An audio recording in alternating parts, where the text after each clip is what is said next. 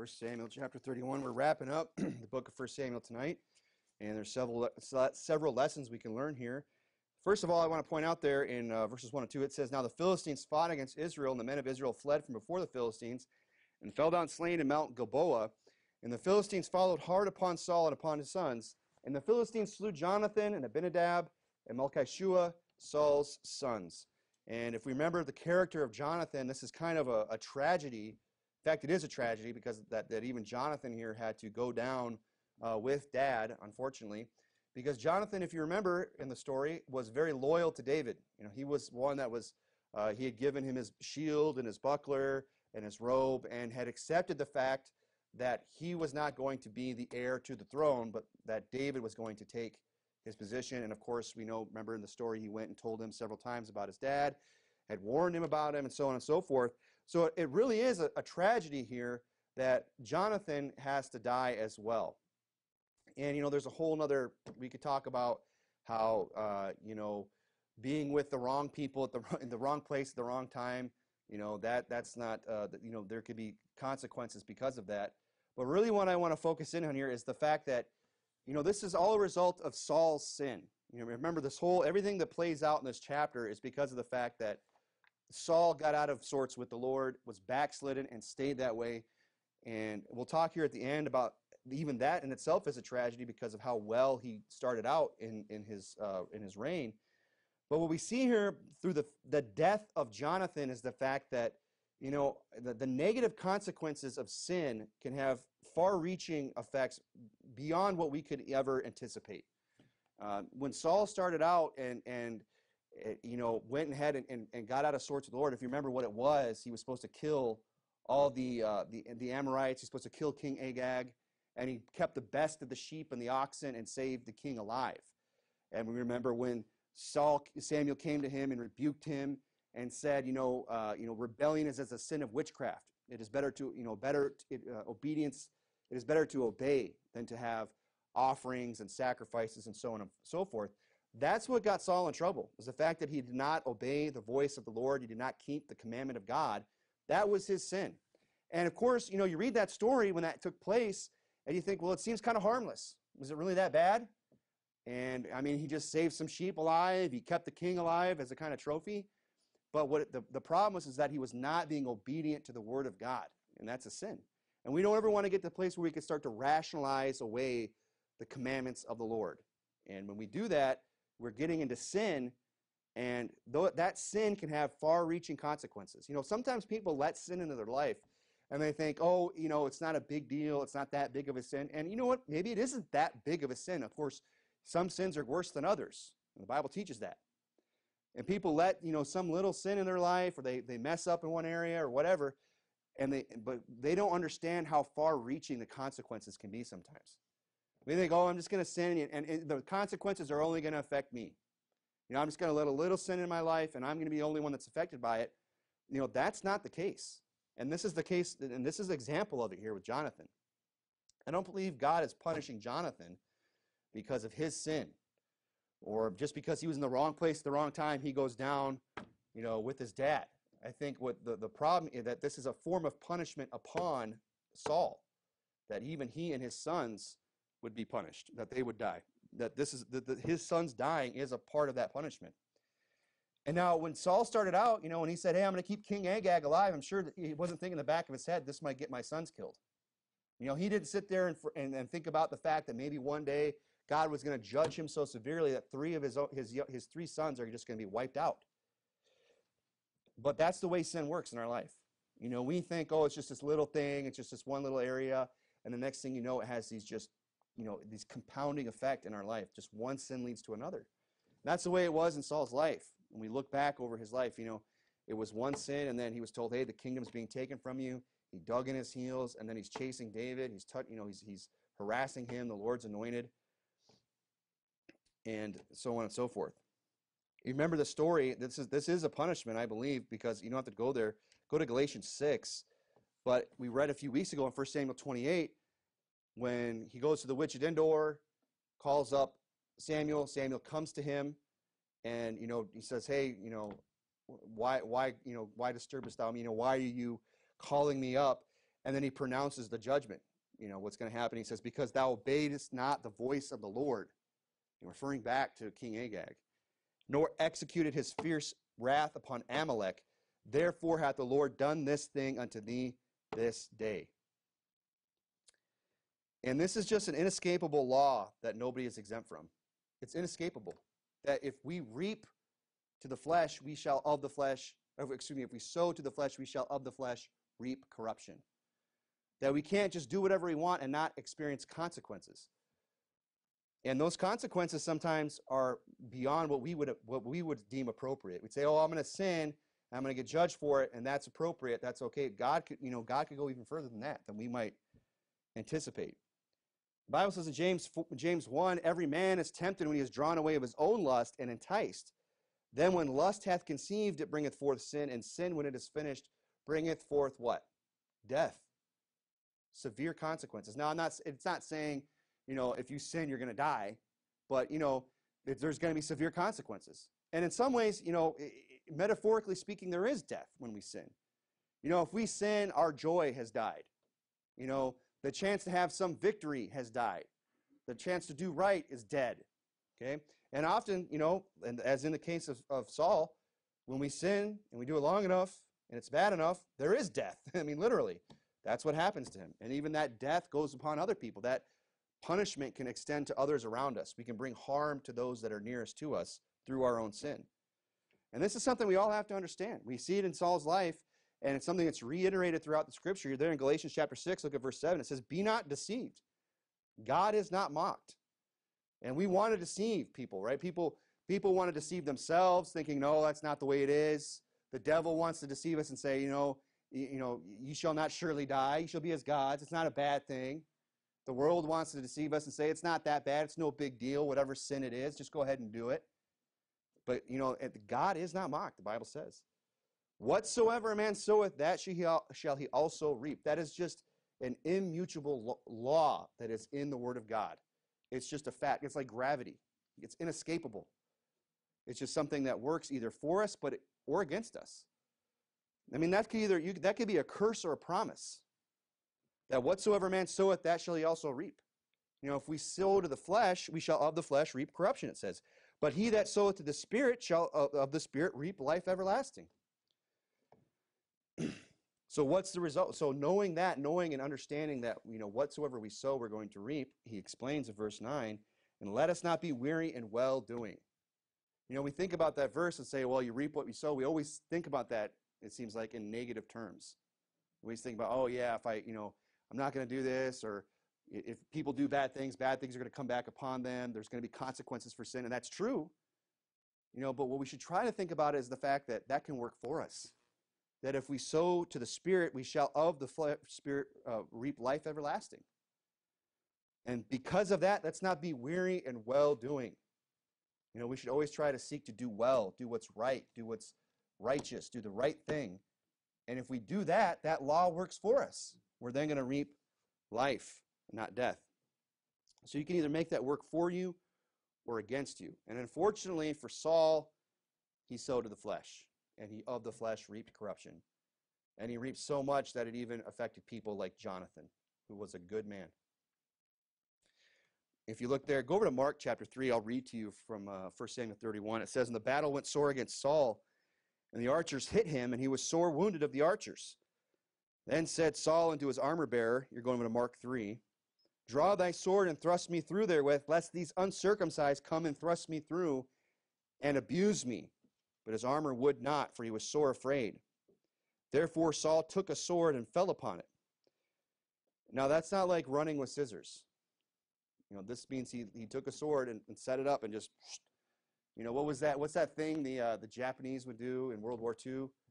Like the, the, the ones that practice Bushido. Anyone know what I'm talking about? It was, it's not here. I'm trying to. I, I want to say it. I know it's wrong. They would literally. They rather than be captured by the enemy, they would they would thrust themselves through with the sword. And that's what you know. That's what uh, Saul's doing here. Not now. Of course, he's not doing it because he's practicing Bushido. You know, he's saying, "Look, I'm going to do this because I don't want these Philistines, the enemy, to come upon me and abuse me." You know, he doesn't want to be desecrated by them. He doesn't want to be tortured to death or whatever. So he fell upon a sword, and when his armor bearer saw, saw that Saul was dead, he fell likewise upon his sword and died with him. So he doesn't really talk a lot about the armor bearer, but it's, it's kind of interesting. It says that he would not, for he was sore afraid. So he kind of seemed to understand that what David understood. You don't touch the Lord's anointed. Even if he gives you a sword and says, run me through, you know, put me out of my misery. Nope, I'm not going to do it. And he was so committed to Saul for whatever reason.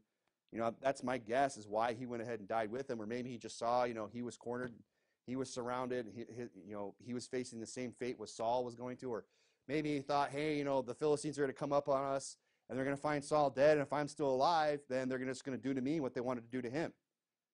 And so he decided to take his own life. So here, two people are committing suicide. So Saul died, and his three sons, and his armor bearer, and all his men that same day together. And isn't that how it often works when we get into sin? You know, we were just going along thinking we're getting away with it, getting with it, and just one day, it just all comes down on us. I mean, Saul, I mean, he kind of did know it was coming because Samuel told him. But I mean, when he received that news, no one gets into sin thinking, I know one day this is all just going to come back upon my head there's just going to be severe consequences. Nobody thinks that when they first start to get into sin. That's how it works. What I want to talk about tonight is this topic, just briefly, is the topic of suicide. You know, most people in the room probably already understand this, but you know, this might just be a good, some good uh, note taking in your Bible to mark your Bible for when you go soul winning. Because, you know, I always try to make a point of bringing up suicide with people, not not to go on and on about it, but it's kind of a, like a thing I use in my soul winning to just kind of test if people are getting it. You know, if I've gone through the gospel and I've kind of explained, you know, eternal life, eternal security, it's a gift, then one of the things I'll do is I'll say, you know, you kind of use myself as an example. If you know, if I got into sin, you know, what you know, what I and I did this, that, and the other thing, you know, would I still go to heaven? And then they'll say, yeah, yeah, you'll still go to heaven because it's all by belief. And I'll say, yeah, I still would go to heaven, you know, but there'd be consequences, right? And they'll say, yeah. And I'll say, you know, God would chasten me. I might lose my job. You know, my wife might leave me if I commit adultery or something like that. Or, you know, I could get so uh, depressed about it. I start taking drugs and alcohol. I lose my job. Then I say, you know what? I could just get so down in the dumps about my life that I even commit suicide. I take my own life. And then I ask him again, would I still go to heaven? And you'd be surprised how many people would say, oh, yeah, if you did this or you did that, you'd still go to heaven. But as soon as you bring up suicide, it's like, well, they don't know how to answer. Or they just say no. So I always throw that out there because that really drives that point home. Now, you don't have to do that, but I find that it's, it's useful. So maybe marking these scriptures would be profitable to you in your soul winning. And they say that a lot of people get confused and they say, well, you know, I thought that was the unpardonable sin. I've heard them say that. Well, you know, that he can't that can't be forgiven. That's the unpardonable sin. So you gotta, you know, and there's a couple ways to go at it, and really I just I often will refer back to Samuel. And say, well, you remember most people don't know who Samuel was or Saul was. They want to, I'll say, you know, the first king of Israel, and he was told that he would be with with with the prophet Saul in heaven the next day, and the next day he committed suicide. And they'll go, oh, yeah. And then you can bring up another example of like Samson, right? But here's the thing if this is the unpardonable sin, well, then, you, you know, just kind of thinking this through is that, well, then was Saul, or was, excuse me, was Samuel lying? Or was he wrong when he told Saul that tomorrow thou shalt thou and thy sons be with me? Because that's what he told me. He said, Hey, I know what's going to happen tomorrow. The Lord is your enemy, and tomorrow you and your sons will be with me. And then Saul goes to commit suicide. So that either means that you can commit suicide and still go to heaven, or one of three things. Samuel was either lying, he was just mistaken, or Samuel was in hell, right? Because that's where he was. You know, he, he has, he's going to be where he is. But we know that he wasn't, it wasn't any of those things. That because salvation is by grace through faith, it's not of works. You know, me going to heaven is not because I don't do or don't commit certain sins. no, so and, and, the other thing is, you know, you can mark Mark 3 if you're there, Mark 3 22. You know, the Bible explicitly tells us what that unpardonable sin is. Jesus, you know, lays it out for us. And where, where people get tripped up and confused by this is because of Catholicism. You know, a lot of times you'll run into confusion this when you're when you're in a neighborhood where people there's a Catholic influence. You know, you start to see the, the shrines out in the front yard, the pictures on the door, so on and so forth. It says in Mark 3, verse 22, and the scribes which came down from Jerusalem said, He hath Beelzebub. You know, Beelzebub is a, the devil, a demon, right? A spirit, an evil spirit. This is them talking about Jesus. He hath Beelzebub, and by the prince of the devils uh, casteth he out devils. So Jesus is healing all these people, doing all these miracles, casting out demons and devils. And the, and the Pharisees see this, and they say, oh, he's doing that by the power of the devils. You know, that kind of gives us a little bit of an insight, too. I mean, they're wrong, obviously, but it also shows us that maybe they were onto something. You know, that sometimes the devil allows things to happen to try and, you know, lend credence to like a false religion, right? Like sometimes you'll hear, you know, speaking of Roman Catholicism, they'll say crazy things like, you know, there's this this idol, oh, excuse me, statue, is what they call it, right? But we know it's an idol. You know, there's this idol of Mary that that tears of blood came out of it. You know, it cried blood one day. Everyone hears stories like that, right? They, and you know what? Some of those things might actually have happened. Or someone miraculously heals another person, or you know, some priest goes and exorcises a demon out of somebody. Well, those things might actually be taking place. But does that necessarily mean it's of God? Or maybe it's because, you know, although the Pharisees are wrong about Jesus, maybe they're kind of onto something that sometimes the devil lets things happen to try and lend credence to somebody. Maybe the devil kind of let that happen so people could say, well, maybe those Pentecostal faith healers are, are where it's at. You know, maybe if, if, if, if uh, you know, I, if I let somebody rub oil in my head and I bark like a dog rolling the floor, whatever, you know, if I, if I get hooked up with them, then maybe those kinds of things will happen for me because this looks so real. It's convincing, right? The devil will do things like that to convince people to get involved in false religion and, and believe a false gospel and remain unsaved. And sometimes people get so deep into that stuff, you just cannot convince them of anything else. Because they'll say, yeah, but, you know, I had, their experience will override the scripture. You know, they'll say things like, "Yeah, I know what the Bible says, but I know what I feel. I know what I saw." You know, and and what they don't realize is that well, that might have just been the devil trying to work on you and keep you in bondage. So they say he hath uh, Beelzebub, and by the prince of the devils cast he out devils. And he called them unto him and said unto them in parables, How can Satan cast out Satan? And if a kingdom be divided against itself, that kingdom cannot stand. And if a house be divided against itself, that house cannot stand. And if Satan rise up against himself and be divided, he cannot stand, but hath an end. No man can enter into a strong man's house and spoil his goods, except he first bind the strong man, then he will spoil his house. Verily I say unto you, all sins shall be forgiven unto the sons of men. Now, how many sins are going to be forgiven unto the sons of men? All of them. That would include suicide, right? Or Jesus is a liar. We know he's not. All sins shall be forgiven unto men and blasphemies wherewith they shall blaspheme. But he that shall blaspheme against the Holy Ghost hath never forgiveness. So, what is the unpardonable sin? Is it suicide? No, all sins shall be forgiven. The, the, the, the unpardonable sin is when you blaspheme the Holy Ghost. And Jesus isn't just going off in a tangent. He isn't just, this isn't unrelated what just what we just read previously. He's, he's responding to their accusation that he does this by the power of the devil. He does this through devils. By the prince of devils casteth he out devils.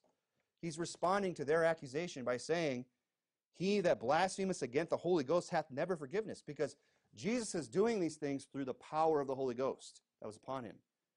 And they're attributing the works of God unto Satan. And that is the blasphemy of the Holy Ghost.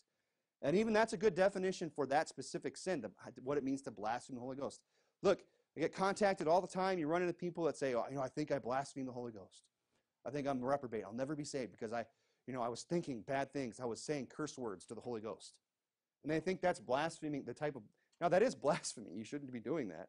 But that's not what Jesus specifically is referring to when he says the blasphemy of the Holy Spirit. The blasphemy of the Holy Spirit is when you attribute the works of God unto Satan. I don't know that very many people have done that. I, think, I don't think people that email our church or people we run into soul winning the, the, the idea that they have of what it means to blaspheme this Holy Ghost lines up with what Jesus is explaining here. Does that make sense? They think it's, oh, you know, there used to be this thing on YouTube where there was like the blasphemy challenge or something like that. Remember that years ago? Where people would go on YouTube and just say blankety blank the Holy Ghost. I don't think you should, I don't think it's a good idea. I don't recommend that. But Jesus did say, all manner of sin and blasphemy shall be forgiven unto sons of men except, you know, the blasphemy of the Holy Spirit, which is in this specific instance, when you're saying, oh, that was something God did, that must be because the devil did it. so that is the, unpar- the unpardonable sin. They have neither forgiveness because it says in verse 30, because they said he hath an unclean spirit. So that's not, you know, suicide is not the unpardonable sin. It's blasphemy of the Holy Ghost, and even within that context, it's very specific. You know, like I mentioned earlier, another go over to Hebrews chapter 11. Hebrews chapter 11. When you get on this topic of suicide with people, which is really a whole sermon in of itself, you know, these are some good references to have. You know, you'll, you'll, you'll cite Saul and say, well, Saul, you know, fell on his own sword. And it wasn't because he, it was an accident. He did it on purpose, you know. you could cite, you know, Samson. More people will probably know more about Samson. You say, you remember Samson? You're talking to somebody at the door. You remember Samson? They'll go, no. You know, the, the strong guy, even though the Bible doesn't say he was some buff dude. In fact, I don't think he was. He's probably just an average looking guy. Because then the people would attribute his strength to his own physical strength. But they'll say, oh, yeah, yeah, Samson. You know, he did this, he did that. You say, well, remember how he died? No. Well, he committed suicide, remember? Oh, yeah. You know, he pushed the pillars apart. I mean, that's how Samson died. He said, and he asked God for that strength to do that specifically. He said, God, answer my prayer and give me the strength just this one more time to avenge myself upon the Philistines. I'm paraphrasing, but that's what he asked. Is that God would give him the strength to push those pillars apart and bring the whole house down upon and bring the cave the roof in. I mean, talk about a guy who brought down the house, right? Yucca, yucca, yucca. That's what he did. And he killed more Philistines in his death than in his whole life. But how did he do it? By committing suicide. Well, he must have gone straight to hell. And that's the unpardonable sin, right? No, he's actually in the hall of faith of Hebrews chapter 11. Verse 32, it says, And what shall I say more? The time would fail to tell me of Gideon and of Barak and of Samson and of Jephthah and of David also and Samuel and of the prophets. And it goes on, whose face of the kingdom, so on and so forth. You know, he's bringing him up because he's, he's somebody who did great things for God and is in heaven. He's, and because Hebrews 12 rolls into seeing you know, seeing, uh, uh, wherefore, seeing we are compassed about by so great a cloud of witnesses, let us lay away every, every sin, every weight, the sin which does so easily beset us. So Hebrews 11, he's telling us who this cloud of witnesses are, and one of them is Samson, a guy who committed suicide, right? So these are just good examples when you're out soul winning. You know, I don't think anybody in this room is probably struggling with this tonight, but at least you have some reference points to, to point people to because it does come up, and I think it's worth bringing up at the door you know, it, to at least kind of bring people home, really drive that point home. That faith, you know, that that you can, uh, that salvation is by grace through faith, that it's a gift. Because again, you know, we don't go to heaven because we don't com- we do or don't commit certain sins. We go to heaven because of the fact that Jesus died for all of our sins, as it says in Colossians, that He has nailed it to the cross, that He has taken it out of the way. He has forgiven us all trespasses. And again, this is kind of a, you know, something that Catholics seem to struggle with more than anybody because of the fact, you know, Catholicism teaches that suicide is what they call a mortal sin. Now, I'm just kind of getting into my studies on, you know, the specifics about Catholicism. but as I understand it, they have different types of sins. And one of them is mortal sins. I don't know, I can't recall what the other ones are.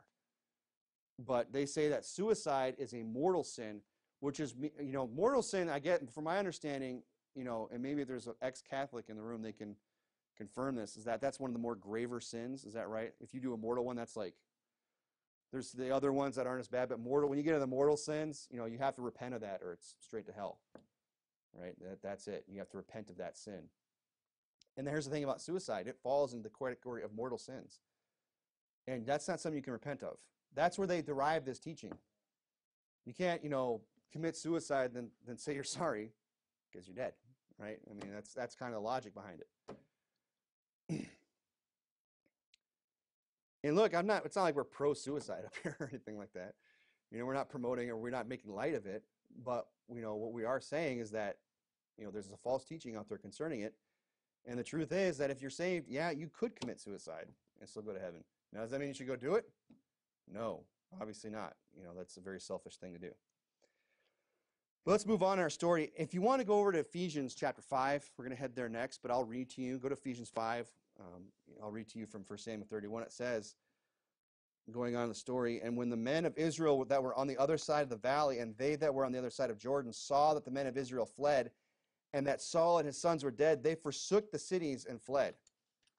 and the Philistines came and dwelt in them. So this is when they're, you know, this is a really bad day for Israel. They're just being completely overrun by the Philistines.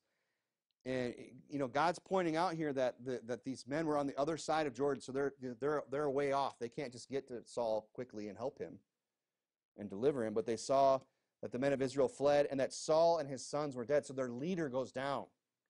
Not just his leader, but anyone that you know might have thought, well, one of these guys will be the heir after him. This will be the next leader. They're all dead. You know, their leadership is just taken out, gone. That they're dead. And it says that once they saw that, once they saw that they were all dead, they forsook the cities and fled. They said, We're, we're not even going to fight. We're not even going to put up a fight anymore. We're just here, Philistines, have these cities. They didn't go in there and, you know, hunker down and, and batten down the hatches and, you know, fortify themselves and try to have one last stand or hold off the enemy from, from gaining any more ground. They just completely backed out and just said, you, you can have it all. And what this shows us is the importance of leadership. You know, we should never underestimate leadership in our life. It's very important to have that. And we should never get this attitude of just like, well, I don't need leadership. You know, I don't need anyone to, to guide me or to, to, to, you know, help me in any way. I don't need anyone to lead me, right? You know, and this is especially, you know, something that men fall into a little bit more. You know, we as men, because we're, we're naturally independent, we naturally are skeptic, more skeptical. You know, we uh, just by nature want to be the leaders ourselves. We're, you know, it's not it's not natural for men to, you know, submit so much. It's something we kind of have to learn, isn't it? You know, even from just being a little, you know, little guy.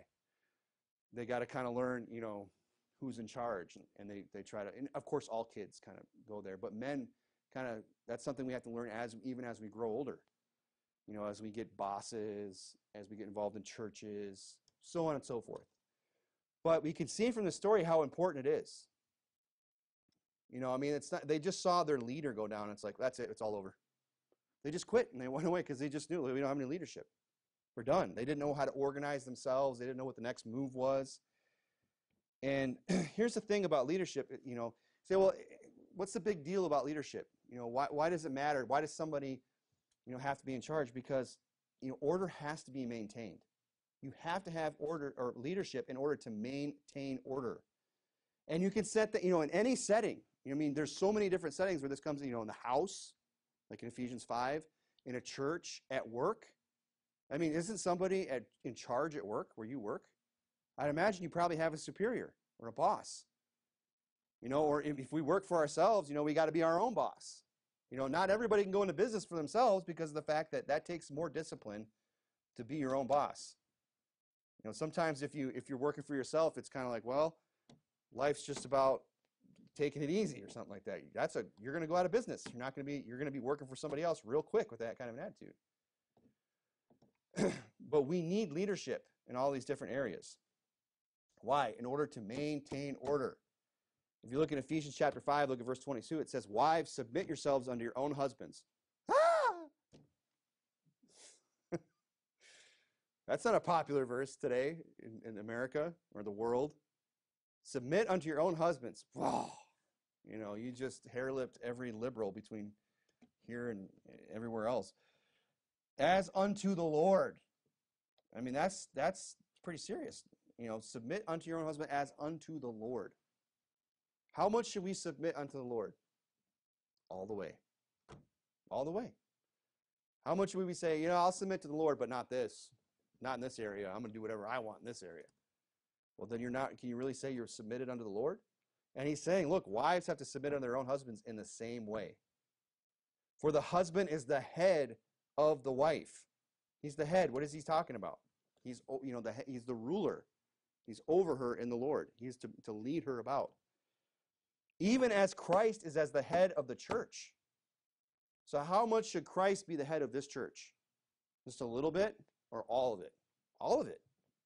Should we say, yeah, you know, this church, we, we, we believe the Bible, you know, we, you know, we, we follow the Word of God, we're submitted to the Lord, except for these few things. There's just a few things here that in the Bible that we just don't like. We don't do that here. We just do things different. We do the complete opposite. Then are we really submitted on the Lord? You know, and that same thing rolls, you know, and, and Paul's using as an example for the wives saying they have to be submitted even as the church is submitted unto Christ. which is all the way, 100%. Therefore, as Christ, look at verse 24. Therefore, as the church is subject unto Christ, so let their wives be to their own husbands in everything. In everything. And you say, well, I don't know about that. But this just goes to show you again the importance of, you know, who you marry is very important. It's like, it's the, you know, I've always heard it said, and I agree with this, you know, it's probably, you could say, the second biggest decision that you'll ever make in your life is the person you marry. The first one is what you're going to do with Christ, right? That's kind of a no-brainer. Are you going to get saved or not, right? Close second, who you marry. Because if you're gonna if you're gonna say, well, I'm gonna live my my life by the, the Bible, then that's a pretty heavy heavy thing to take on. I'm gonna submit unto my husband and everything. You better make sure he's a good leader. Better make sure he's got his head on straight and knows what he's doing, because you got to be submitted to that person. And that's not always easy. You know, there's plenty of people out there that wives who who who read that and just think, I can't submit to this guy. I mean, he, he doesn't know what he's doing. And they're right. He's a poor leader. So it all comes back to the importance of leadership. You know, we should never, if we're in a position of leadership, we should not take that lightly. Because we're because why? Because we're leading other people. I mean, look what happened when Saul died. Everyone's gone, everyone just scatters. That tells me that Saul's a pretty important guy. That that leadership is important. That role is important. So if we're going to be a leader to somebody, whether it's in the context of work or at church or in a, in a marriage relationship, where we're a husband and we're leading a home and our wives are submit to us, we better know what we're doing. And we better be leading them in the right direction. And people say, well, I don't know, that just doesn't sound very, very fair. I know. It's, it's, pretty, it's pretty unfair to put all that responsibility on the husband, isn't it? I read it too and I go, I don't know about that. Man, that sounds like a lot of work because it is. Because it's important because leadership matters. You know, and you can apply this to, you know, the, the child parent relationship. You know, that your parents are your leader. And you should submit to them. You know, you should in the in in in, you know, that doesn't mean they're going to be perfect. Doesn't mean they're going to always do the right make the right decision. Everyone makes mistakes. But we should, you know, make sure that we're giving them the, the proper respect just for even trying to fill that role at all. You know, it's really easy to look at leadership and pick them apart and say, well, they messed that up or they didn't do that right. Yeah, but I mean, how good a job would we do at it? It's easy to look at somebody and say, well, you know, they're really lacking in this area of leadership. They're really lacking. Yeah, because it's hard to do. And nobody does it perfectly, whether in any position, whether it's as a, you know, uh, in the church, at home, at, at work, wherever. So we should always, you know, you should always be willing to give your leaders a little bit of slack because they're, they're you know, they're not going to be perfect. They're going to make mistakes. They're not going to always do things right. But they're trying to fill some pretty big shoes, whether it's as a husband, as a parent, as a, as a boss, whatever. and you know what the proof of that is? You know what the proof of that is? Is that the fact that leadership just can't be replaced on a moment's notice, generally speaking. I mean, Saul's dead. The sons are dead. You don't see anybody else going, all right, so and so, you're up. You're on deck. You're next. We need a leader now. These guys are all gone. Where, where's so and so? We all know he's, he's, he's, got, he's got what it takes. Leadership is hard to find. It's hard to find good leadership. It's valuable. And the proof is that is it can't just be replaced on a moment's notice. It leaves a void. That's exactly what happened in the story. The leadership is gone, everyone just takes off, and the Philistines just walk right in and sit in the chairs and eat the porridge and sleep in the bed and just have, have a field day. And that was the easiest you know, real estate purchase they ever made. Everyone just left, and we just walked right in, no resistance at all. Why? Because everybody was dead? No, because everybody fled. And why did they flee? Because there was no leadership. There was no one there to fill that void if you would, uh, you know, just stay where you're at. You know, and why is it that leadership can't just be fulfilled in a moment's notice? Because leadership has to be trained. Leadership, you know, leaders have to be made. I know I know some people are just a natural born leader, but even they have to learn the lessons of what it takes to be a leader, right? They don't just walk into it saying, I know everything there is to know about leadership. I know what pitfalls to look out for. I know how to handle every single situation. Nobody's like that. The reason why leadership is valuable is because it cannot be replaced on a moment's notice. It can't be replaced on a moment's notice because it takes training to bring up leaders.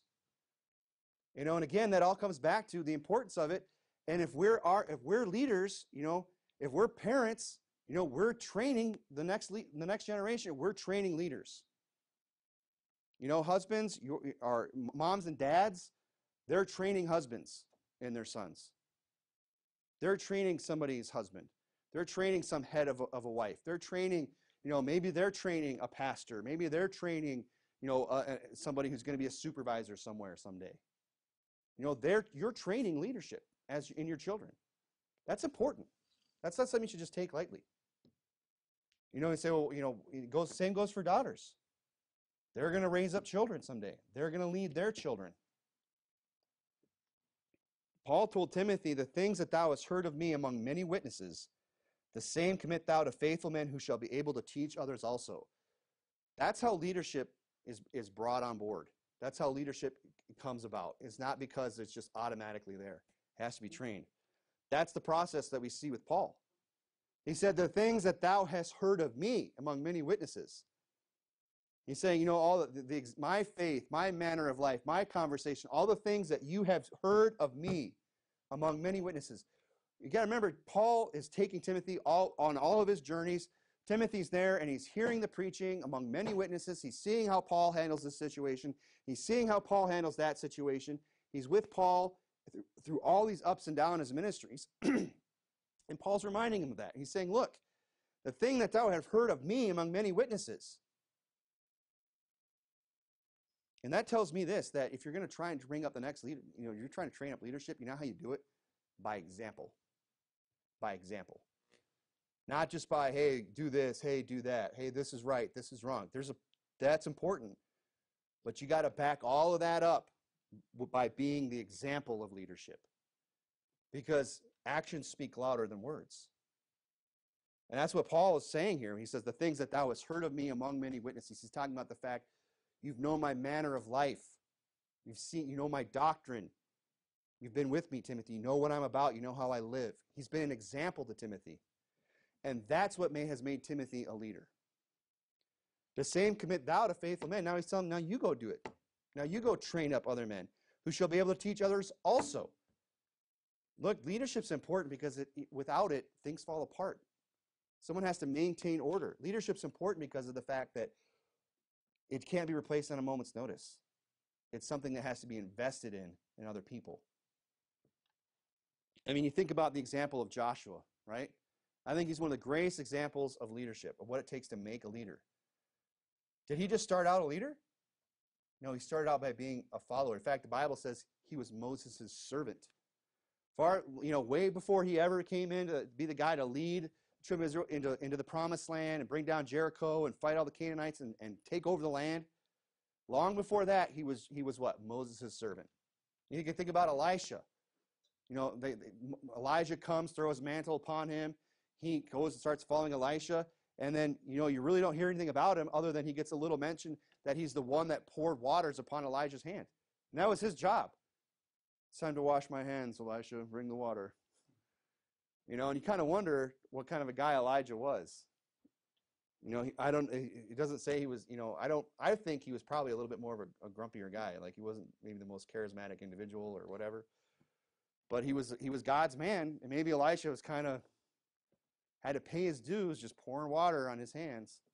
But that's what you know. He saw the example of Elijah. Joshua saw the example of Moses, not just the words. He saw how Moses conducted himself and that's what made him into a great leader himself.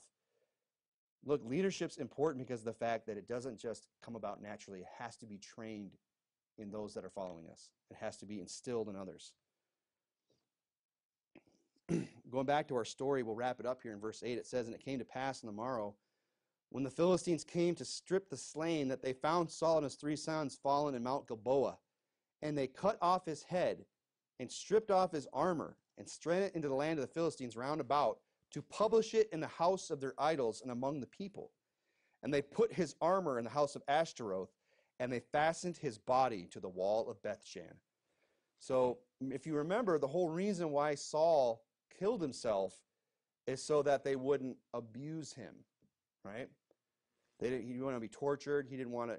He, he wanted to be spared any further humiliation. Remember what they did to to. Uh, uh, we were just talking about him. Samson, when they caught Samson, they put out his eyes and they made sport with him. They made him to grind in the in the house. When they brought him out to make sport, they mocked him. That's what the Philistines did. That's you know that Saul's trying to avoid this being humiliated, but even in his death, he's still humili- humiliated. His head's cut off. He's stripped of all his armor. His body's hung, you know, all in all likelihood, just bare naked on the side of the wall. And he's just his he's I mean his body parts are being spread around the you know, it's it's it's humiliating. I mean, who wants that at their death? You know, most people just want a nice ceremony and you guys can go eat some food afterwards and talk about how much you're going to miss me, right? Or not miss me. That's not what Saul got. He gets beheaded, humiliated, and that was his fear. And this goes back to the point I made at the beginning that your sin has far reaching consequences. It has consequences that go beyond what you can anticipate. Now, Saul didn't see all of his sons being slain and his body being desecrated when he decided to disobey the commandments of the Lord, but that's exactly what happened. You know, the other example would be of Abimelech. Remember in Judges, Judges 9, where he, they're trying to, you know, he's rebelling and he's taking over, and they go up against that tower. Remember the story? And, the, and he's trying to take the tower, and, the, and he gets close to the tower, and the woman throws a millstone off the top, and it cracks his skull open. Remember that story? And he says to his servant, uh, the young man, his armor bearer, Draw thy sword and slay me, that men say not of me, a woman slew him. He didn't want that to be the way he went out. He wanted an honorable death. He didn't want to say, oh, a woman slew him. Because he's this mighty warrior. He's supposed to be this great guy. Well, how did he die? Oh, some lady threw a millstone on his head and he died. Doesn't sound good, right? Guys want to go out with like he died. He went out in a blaze of glory. You know what I mean? He went out on a shield, not a woman threw a rock on his head. That was it. There's no honor in that. You know, we want to we want to fight. We want to die fighting a bear. You know, not having someone throw a rock on our head. and it says, and his young man thrust him through, and he died. But is that how is that how he's remembered? Remember what uh, in Second Samuel when David is you know plotting against um, oh, I can't believe it. I'm forgetting his name. It says in verse 18, then Joab sent and told David the things concerning the war and charged the messenger, saying, When thou hast made an end of telling the matters of the war unto the king, if so be the king's wrath arise, he say unto thee, Wherefore approached ye so nigh unto the city when ye did fight? Know ye not that they would shoot from the wall? And this is how Abimelech is remem- remembered all those years later when David is, he recalls the story as an example. Or he's saying this is what David might say, right? Who smote Abimelech, the son of Jerubbaal, Besheth? Did not a woman cast a piece of, of millstone upon him from the wall? So again, this Abimelech, you know, he's his he's like, I don't want to go out like that's not what to be remembered. So he has his armor bearer thrust him through, but everyone remembers that it was a woman. All these years later, he's saying, Look, David might say to you, Why did you go so near the city? Don't you remember what happened to Abimelech? How a woman threw a piece of millstone off there and crushed his head? That's exactly what happened. And you know, here's the point that I'm getting at. Okay, Saul, you know, he didn't want he didn't he didn't want his body cut up and put on a wall and, and his armor put in some idol's house and his head published throughout all the land. He didn't want that. So he killed himself. He's trying to avoid the consequences of his sin. You know, Abimelech, he didn't want to go out like that. You know, he was a rebel. You know, he was he he he, he didn't want to have it be said of him that, you know, in his death that a woman slew him, but that's exactly how people remembered. And Saul's body was desecrated. What's the point? Is that you cannot foresee the consequences of sin. You know, you can pick your sin, but you cannot pick the consequences of it. You can pick your sin, you say, I'm going to do this. You know, that's on the table, but you cannot pick the consequences. You can't say, I'm going to sin, and then this is what's going to happen. You don't know what's going to happen. You don't know how far that sin's going to reach or what it's going to do. You cannot pick the results of sin. You can only pick sin. It says in verse 11, And when the inhabitants of Jabesh Gilead heard of that which the Philistines had done to Saul, all the valiant men arose and went all night, and they took the body of Saul and the bodies of his sons from the wall of Bethshan, and came to Jabesh and burnt them there. And they took their bones and buried them under a tree at Jabesh and fasted seven days. Now, this is an interesting way that this chapter, this book closes out. Because everything, you kind of see what happens to Saul, and you got to kind of say, well, kind of had it coming. you know, he was a bad king at the end. You know, and and people walk away from the story of Saul think, and, and he gets a really bad rap, well deservedly. His his stigma is warranted. But what we're seeing here at the end is that you know God could have just ended it there. You know how he was just desecrated, and that was it. But God in His Word decides to tell us a story about these men of Jabesh Gilead, which is very significant in the story of Saul how they went, and it says they were very valiant, and indeed they were. I mean, nobody else, everybody else has fled, and they go by night and they gather, you know, Saul's body back and his sons, burn him and bury his bones. They're doing honor, and God decided to, to, to put this story in at the end of the book, I believe, to remind us of the fact that Saul was not always a bad guy. And that's the tragedy of Saul, is that he's somebody, if we remember when we started this book, who started out very meek, very humble, who was very small in his own sight. And it's a tragedy what happened in his life. And it goes to show us that, you know, if we're not careful, power will go to our heads and how it can just corrupt us completely. And say, well, you know, boy, Saul had it coming. Yeah, but how would we handle what he would if we got put in that position? If just overnight we go from just being the smallest of all the tribes and the smallest house in our tribe to being the king, could we handle that kind of promotion? You know, sometimes God keeps us low because he knows we, we just can't handle it. And so go easy on Saul. I'm not saying he didn't deserve what he got. He got what was coming. But I believe God's throwing this in here at the end to kind of remind us he wasn't always a bad guy. And to remind us that it can happen to anybody. And that people can go bad. And but that doesn't mean that they were always bad. go over to no, I'll just read to you, okay? Because I know it's I gotta wrap up. But it says in Roman or Proverbs chapter 10, the memory of the just is blessed. The memory of the just is blessed, but the name of the wicked shall rot. You know, people are going to remember you based on whether you were somebody who was, you know, a just person or whether you were uh, a wicked person. You know, people remember what kind of people we were. And it says the memory of the just is blessed. People think about back on just people and they say, man, this guy was a great guy you know, he did this. He was, you know, you go to these funerals where, you know, some good guy or some, some nice person dies. People have nothing but good things to say. I don't know I've ever been to a funeral, but it's got to say, yeah, he was rotten. he always did me dirty. Always cheating at this and whatever. You know, no one ever gets up at a funeral. So at least I hope not. But the name of the wicked shall rot. No one's getting, people are going, yeah, it's, you know, let's just forget about that guy. What did he ever do? Yeah, he's just one of those guys. It rots, it decays, it goes away. But the memory of the just is blessed. People like to keep in memory people that are good. And Saul's kind of a mix of both, isn't he? Right? Saul, we look about him, he's like, the memory of Saul is kind of rotten. You think about Saul, the first things that come to mind are just how he, you know, pursued David, how he killed the 70 priests, you know, and just other things that he did. Went to a witch, committed suicide, you know, was disgraced in his death. I mean, it's a lot of bad things, right? But remember, remember the men of Jabesh Gilead at the beginning of the story? you know, to them, Saul was somebody that was just. And because of what he had done for them, remember uh, how they came to him to put out, the, the, the, the king came to them, the, the, the enemy came to them and said, Unless you come out and give us your city, you know, we're going to destroy you. And they made a covenant, the men of Jabesh Gilead. They said, you know, if you let us thrust out your right eye, we'll spare you. They wanted to bring a reproach upon Israel. And who did the men of Jabesh Gilead call out to? They called out to, Saul. And Saul, you know, hacked up his ox and sent it around Israel and said, So shall be done to all the men, the oxen of all the men who do not come with me to, to deliver the men of Jabesh Gilead. And he goes, there There's the first battle he ever fought as a king, and he goes and he delivers the men of Jabesh Gilead. And you know what? And the men of Jabesh Gilead never forgot that about Saul. And when they heard that Saul was dead, they said, you know what? We're not just going to let the, him rot, mem- his memory rot.